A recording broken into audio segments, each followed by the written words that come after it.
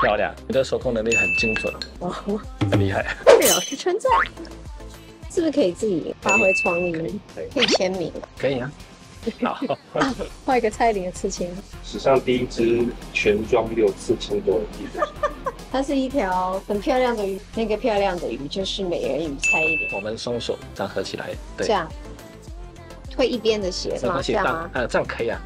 好，切完以后，我们开始沾点水，把这个表面再把它抹平整。好像帮他做 SPA。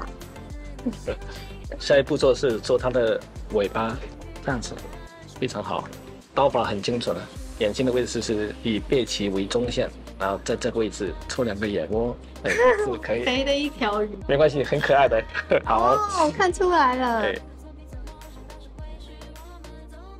哦，漂亮，还可以在这个地方再压一块，这里。对，再补一下，对，稍微的压一下就好。好好，嗯，好了以后，我们开始最关键的一个步骤，嘿，开嘴，要开大嘴还是小嘴都可以。可以。好，我的，脸型真好 看。你的手控能力很精准，手控能力，对，哦，很厉害。被老师称赞。招财进宝，滴水兽，我们要去烤鱼了，照烧鱼。先涂可以先涂尾巴，行，可以。好，腹鳍再等一下。感觉它像熬夜很久的，对，一只鱼。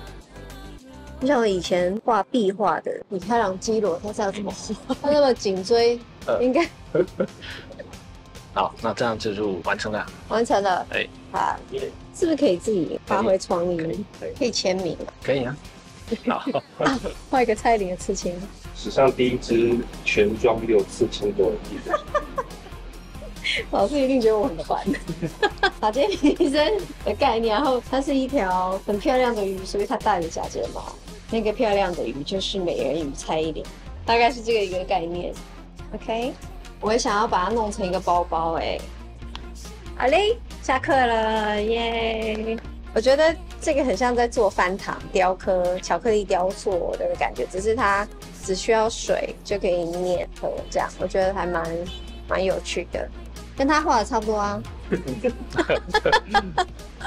熊，老师做的，超可爱的。我来帮他上色。你有写过画吗？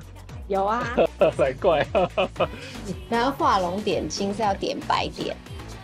好，看眼神一下就有了，可爱，好可爱。